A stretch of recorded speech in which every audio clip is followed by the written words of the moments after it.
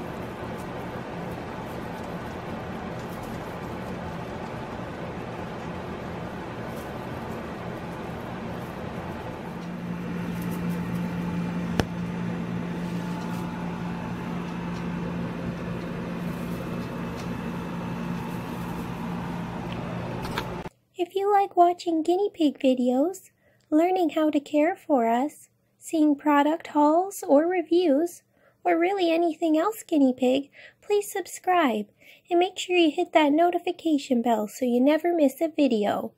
Down below I've left two more videos for you to pick from, so keep on watching.